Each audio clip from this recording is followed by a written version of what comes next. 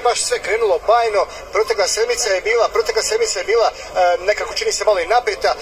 ipak na kraju je sve završilo onako kako dolikuje obilježavanju 80. godišnjice ustanka naroda Hrvatske ovdje u Donji pa mi, mi se prije svega u ime Srpskog narodnog vijeća se moram zahvaliti mještanima i mještankama Srba i maloljetnima i punoljetnima jer su svi zaista na najvišoj mogućoj razini podnijeli ono što se ovih dana ovdje događalo. Bilo je na razini provokacije koja se graniči sa nekom vrstom e, e, čudnog psihološkog ponašanja, ali krajnje tendencioznog i zlog prema ljudima koji žele samo mir i u miru da provedu svoje ljeto sa bližnjima koji su ih posjetili naravno za vrijeme ljetnih praznika jer većina ljudi ovdje više ne stanuje. Hvala im veliko na tom strpljenju. E, e, naši predstavnici, kako podpredsjednik vlade, tako predsjednik Srpskog narodnog vijeća su proteklih dana